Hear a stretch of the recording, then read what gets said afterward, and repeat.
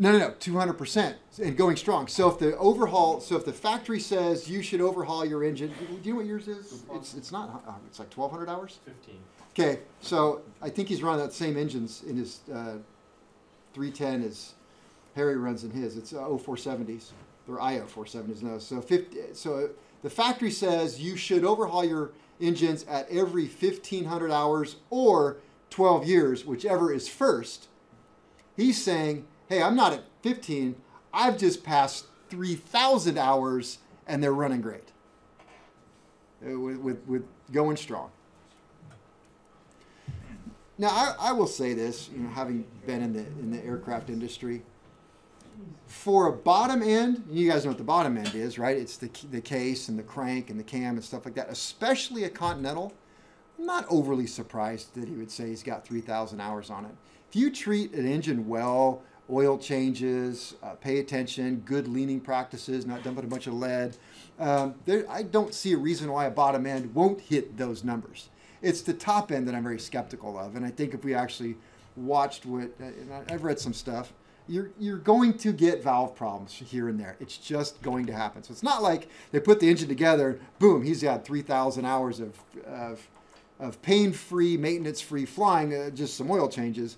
I'd be willing to bet there's several uh, valve changes here and there, just because the nature of the beast, they burn valves, and that's not his fault or.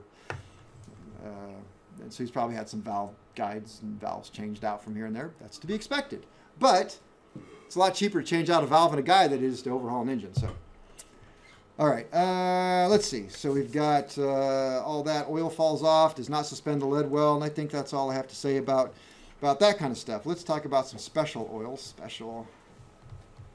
So that all came at a very good time. Special oils. Well, Lycoming.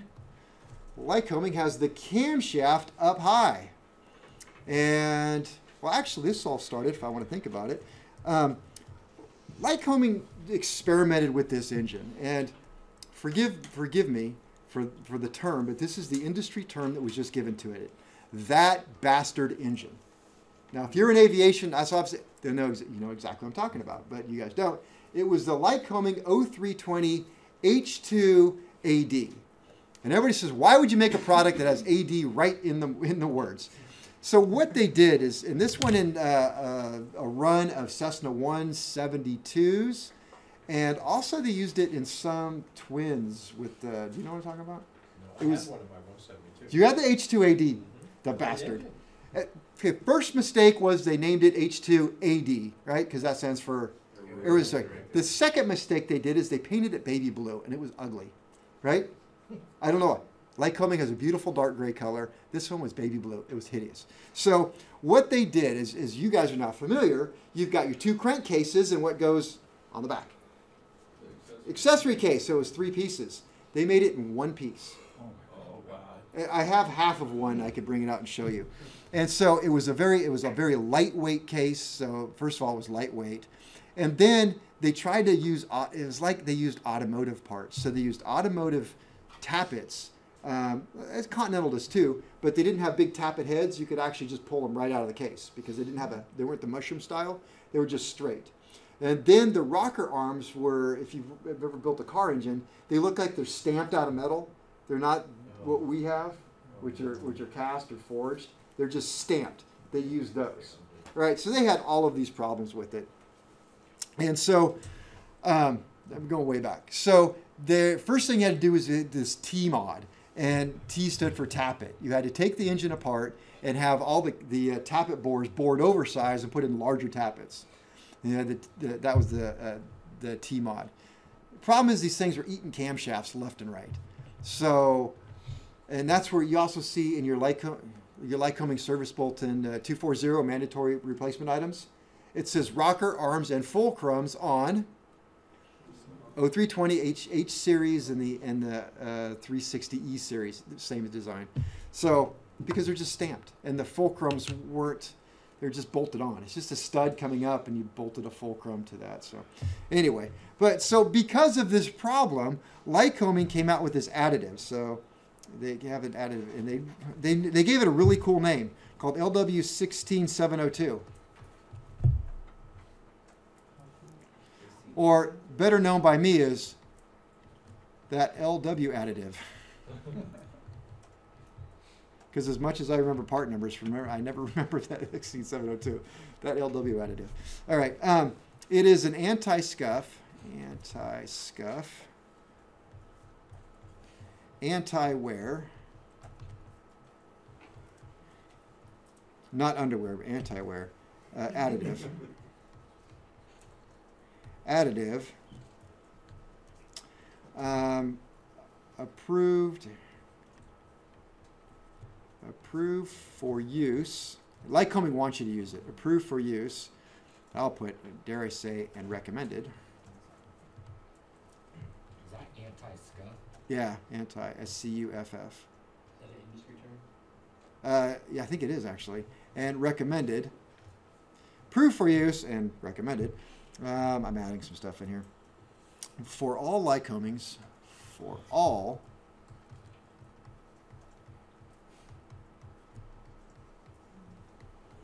engines except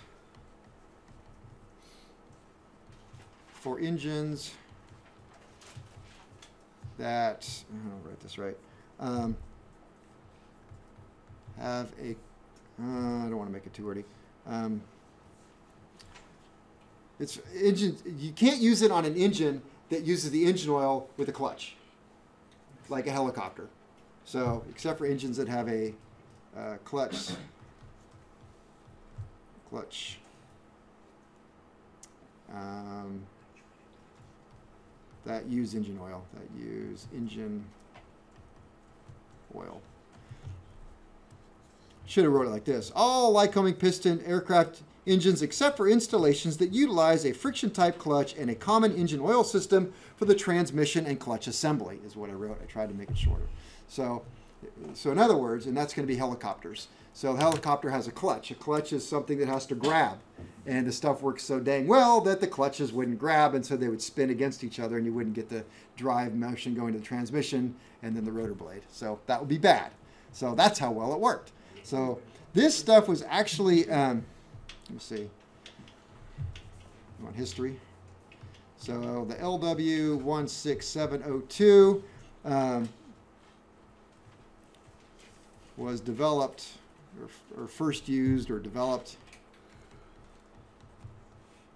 for the H2AD engine, 0320 H2ADs with the funny rocker shafts and all that stuff. And so they're trying to to to make this engine better.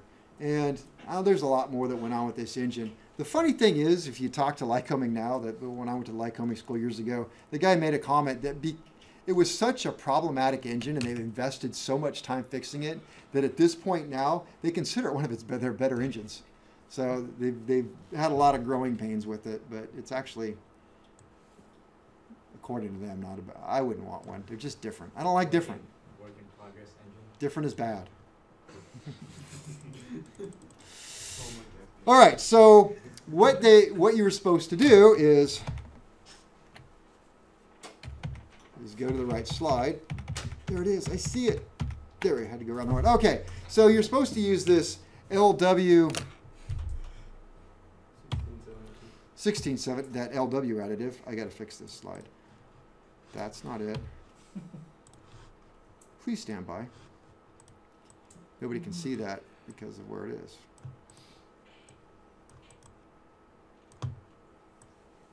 Good enough. All right.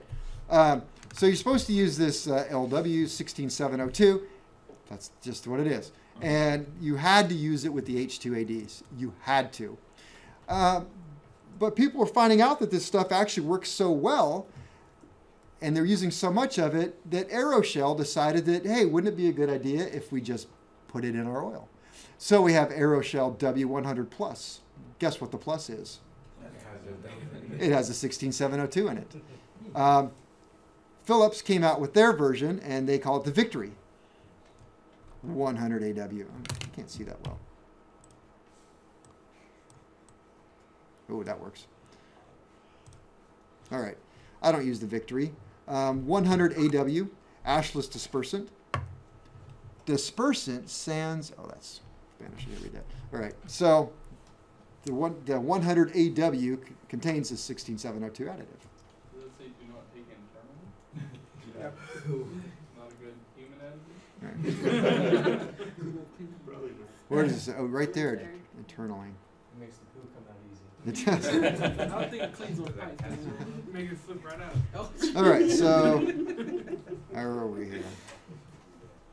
I think I'm on three. So no, yes, I am. Okay, so I said the the 160702 was originally used on that. So Aeroshell, arrow shell, W80 plus, and W100 plus, and and 15W50. Actually, it's W15, which is the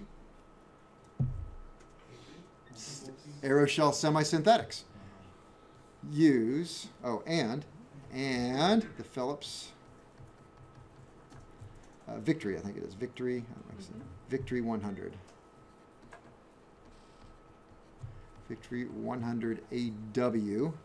Oh, guess what AW stands for? Anti wear? Victory 100 use the LW 16702.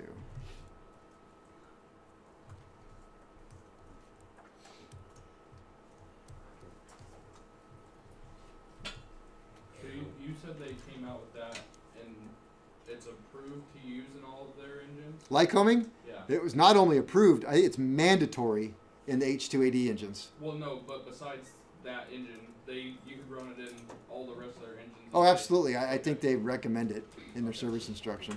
They want you to. I have to read it. All right. Uh, we should also mention this because this is becoming more common. Light sport.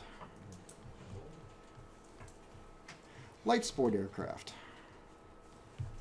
Do I have any light sport pictures? I don't have a picture of a light sport. Oh, Greases. Good grief. I really went crazy on that one. All right.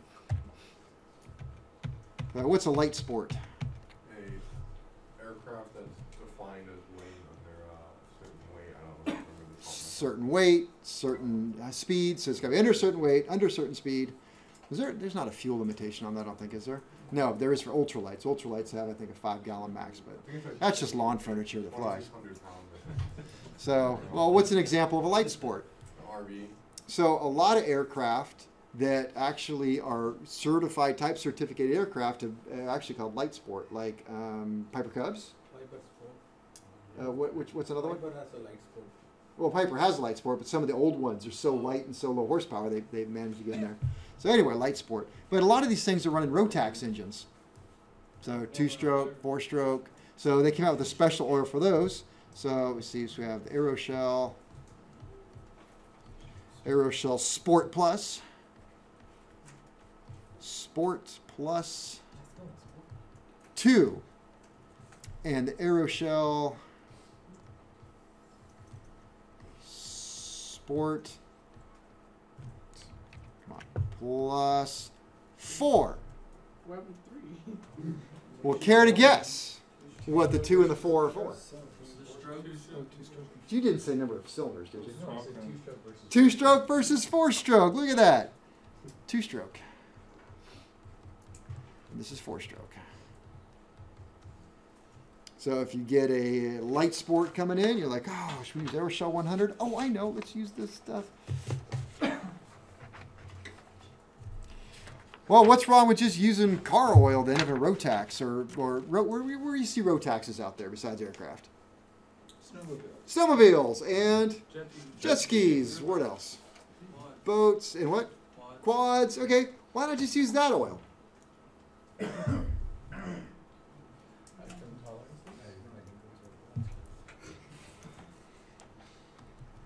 Remember the fuel difference. Yeah. What do your snowmobiles, jet skis, everything else run off of? No lead. What do we? What happens when you go to the airport and fill up? Lead. Lots of lead. We're talking about that next eight weeks. They call it low lead. That's not low. It's only low compared to what it used to be. it's something like four times the amount of lead that car gas ever had. Wow. So uh, we call it low lead. Don't worry about it, environment. It's just low lead. It's just, that's why it's so low. We can call it. It's right in the name. Why do they have that? So much more lead. well, okay, that's that's it's coming, but I'll tell you, it's all about detonation properties. So the lead, uh, because we, we use hundred octane, and best you can get at the gas stations, ninety-seven. The, the RON divided by MON times two method, by the way. You're gonna laugh, but eventually you're gonna know what that means. You're like, it's right there on the thing. I know what that means. So, um, anyway, so yeah, so it's all about detonation, and that's how how they do it. Uh, let's see. So what can I say about this? Um, both oils, both oils were developed. Were developed for engines for aircraft engine. These engines due to use due to use of 100 LL. What's 100 LL? 100 low lead fuel. Uh, we do have diesel engines out there now, compression ignition. And they use the Aeroshell.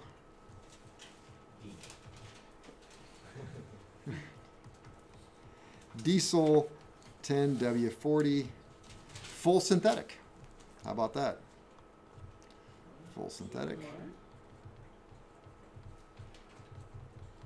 Full synthetic and diesel ultra. And diesel diesel ultra. Well, okay, now wait a minute. Then why are the diesel engines suddenly using the full synthetic? Now they're not having a problem. What's the difference? Because they can. What was the problem with the synthetic to begin with? Too slippery. Because it was too slippery. Not too slippery. No, it it combusted. Uh, it, It- It didn't encapsulate. No, it didn't uh, encapsulate the uh, particles.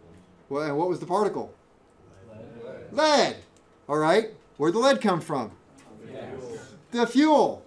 Got a diesel engine. What kind of fuel does a diesel engine run? 100 low lead? No. What does it run? Jet A. So in, in, in aviation, it's just Jet A. So we call it diesel, but it uses Jet A. How much lead is in Jet A? Zero. Zero. So we remove the lead, we go to synthetic. So, So I think Jet A is better for the environment than so I may get this slightly wrong, but um, so I won't write it down for you if I do. But one of the first manufacturers of aircraft diesel engines was a company called Thielert, and they, they, they were out of out of Germany. It's just a German engine, and where do you suppose a company who wants to make a diesel engine in Germany is going to go to to get their base diesel engine? Volkswagen. Oh, that was a good guess. Yeah, I guess I didn't think of that one. No, Dodge. Dodge. well, Dodge used Cummins, Yeah. but it was Fiat. Dodge Chrysler Fiat. We could have said Mercedes. So I believe, and we did have at one point a, a student who was a diesel expert, and he took a look at our Thielert uh, diesel engine. And he said, "Man, this is Mercedes A class all the way," which is before the A here. But uh, anyway, said it's a diesel. So they use a Mercedes diesel, so which ran on synthetic anyway. Um, but anyway, so Thielert went bankrupt or was bought out by Continental Motors. Whoa. Didn't they try to do something with Cessna to get a diesel Skylane or Uh, something? yeah, they did, but it didn't work out or something. Yeah. All right, so selection of oils. E C T I O. Selection of oils. Now that you know all about oils, or enough that you wish you didn't, Yeah. you got to select some oil. All right, all aircraft oil. All aircraft oil should conform. Maybe I should put must. To M I L L 608. What does mil mean? Mil spec. And that is for straight mineral. Straight mineral. Or M I L L two two eight five one. You know I'm going to have that number on the test, right? Um, AD oil. It's question number one on the test. What is MIL 6082 certified for? You know I would never ask you that. So we have that mill spec for straight mineral and uh, this mill spec for AD oil. Why would I bother to tell you this? Well, because I tell you all kinds of crap you don't need to know. But I try not to. You know, I don't like busy work. Always something always leads to something. Uh, this means. This means. What do you think it means? It's an FA question. No, come on. In reality, We gotta make it. let's think practical. Oh, you'll see those on the container. Traceability. You see it on the okay. You see it on the container. So I'm out flying around. I leave from here and I decide I want to go on vacation. So I fly down to Bakersfield because it's the vacation capital of the world. How about I go down to Harris Ranch and get myself a nice burger? You guys familiar with Harris Ranch? Oh, yeah. You know, you got to go to Harris. I, I should get paid for this advertisement here. So you go down, if you're going down to LA and you take I 5, you're going down, and, and if you're going to LA, it's on the left hand side, there's Harris Ranch. And you see the Harris Ranch trucks? It, it smells terrible around there, lots of fun. Is that the place that smells like cow butt? That's it. No, that, that is uh, Cattleman City. Um, but it's very close to it. It's where the cows are. So Harris Ranch has this great beef. They are famous for their beef, and they have the restaurant there. But there's also the, the don't go to the restaurant, but you go in, and there's like a gas station right there. Then I think it's some Tesla charging stations, and you go in there and you get the tri-tip sandwich. Oh my gosh, it is so good because it's Go that to beef. the gas station, Gas or station Yeah, because they have a Harris Ranch counter inside there, and it's quick service and and oh man, the oh the chili, I was like unbelievable. But anyway, so uh, but they have an airport right there, so I go down to Harris Ranch and I get there and I'm pre-flighting on the way back, and not only does my headlight not work, which my headlight and my taxi light doesn't work, but I'm low on oil. So I walk into the Harris Ranch and I'm like, hey, I need some oil. Can you can you hook me up? And they say, what do you need? And I said, well, I'm using Phillips XC2050. And they say, whoo, yeah, we've got some Aeroshell W100 and some W100 Plus. What would you like to do? What am I going to do? Some oil's better than no oil. Huh? Some oil's better than no oil. In my 20 some thousand dollar engine? Whoa. You get you get Harry's 182 in there. Wow, that price just went way up. What you got there, Harry? Again, a U or an L? Uh, you? U. Uh, Forty-one thousand two hundred and thirteen. Ouch. Now, granted, that's only four hundred seventy-eight dollars a month. So, is some oil better than none? Let me tell you right now. If I got a forty thousand dollar engine in the front and I'm cord at low, I will find a Motel Six and, and have it Amazon to the next day or something. You don't, you don't just carry a quart with you? Of course I do, but I forgot. Or my partner used the airplane and he used the quart and threw the empty in the back, and I didn't bother to weigh it and see that it was an empty quart. So what am I going to do? Well, Start you with said the Motel bottom. Six. Just pour in the Just okay, he wants to just pour in the hundred. You're willing to risk it. His dad's rich; he doesn't care. It's only forty grand.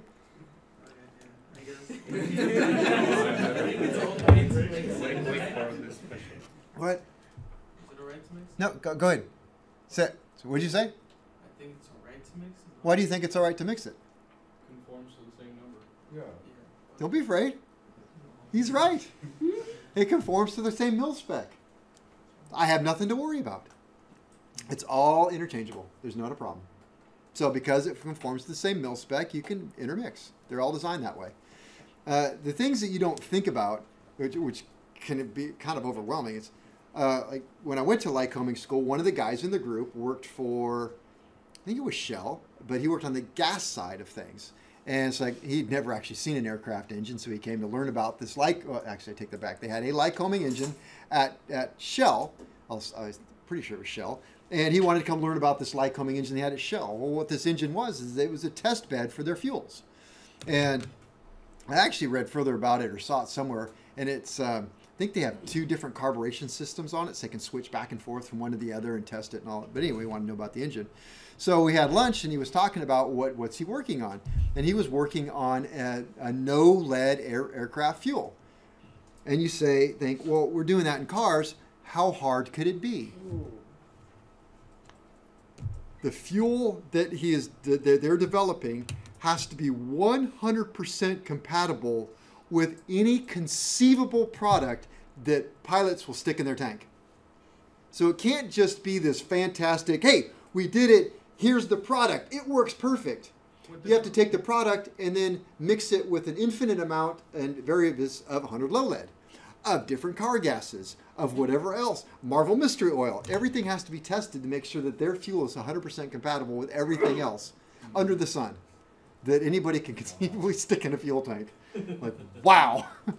So it's not just enough to develop it, you got to take the idiot factor into That, that sounds impossible though. I know. I because What, because are you get- getting five gallons from every airport in the United States? that's what no. Well, 100 low lead's 100 low lead.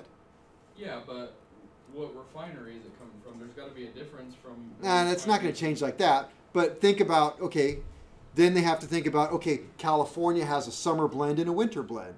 So our blends in car gas are different than I don't know Nevada's or Oregon's, and so they do have to get all of those different blends of car gas because people put car gas in their airplanes. And if they were to develop a purely uh, um, aviation type fuel, stick it in an aircraft and say, this fuel is totally compatible with 100 low lead. You can mix them, you can match them, it's going to be fine. So if you go somewhere and you have half a tank 100 low lead, top off with the unleaded, you're going to be fine. Nope.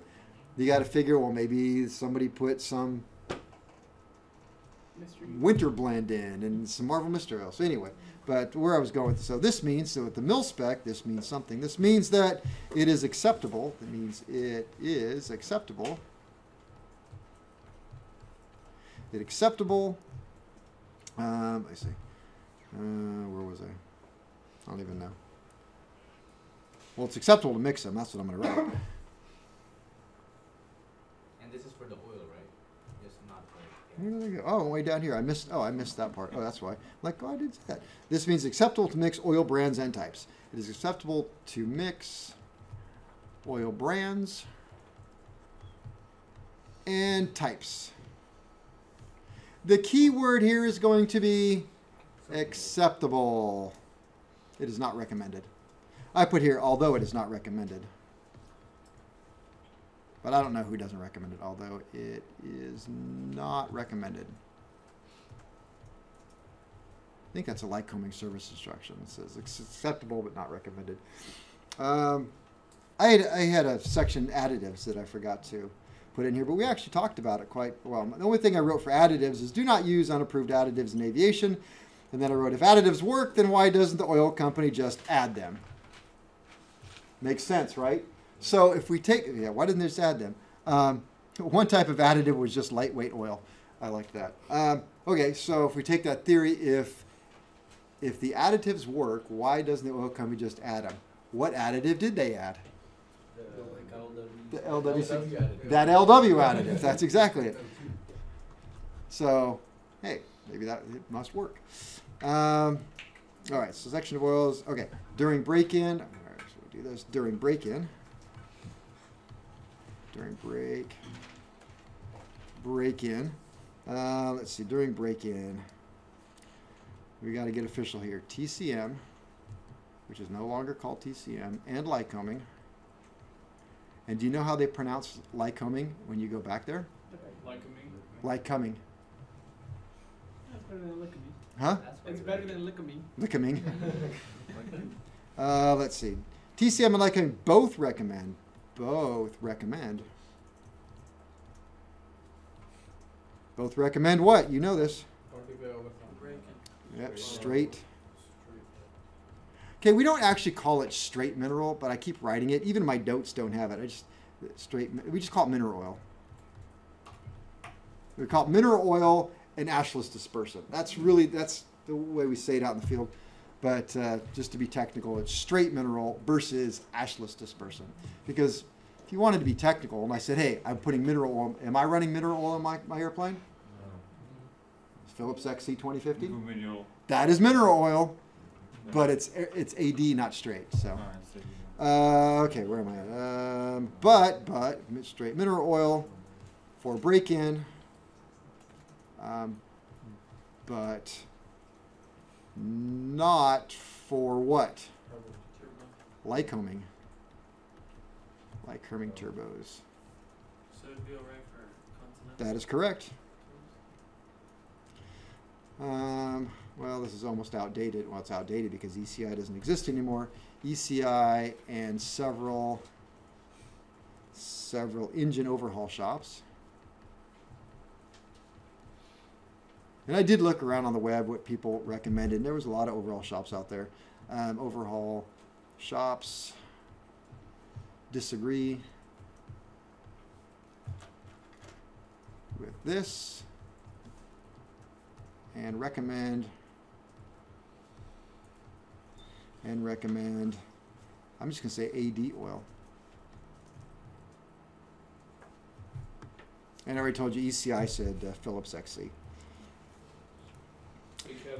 Hey what? for uh, a company like ECI or an engine overhaul shop to disagree with the manufacturer, do they have to have data to support that disagreement? Nope. No? Nope. Um, I'll continue this tomorrow, but I'll just tell you, and I'll write this tomorrow. But the theory being that AD oil is too slippery for ring break-in, but this theory has been proven false. Simply stated, straight mineral oil is not a good oil and simply accelerates wear. But I go on to say that consult your service bulletin, and the oil that you're going to use is whoever's paying for the warranty.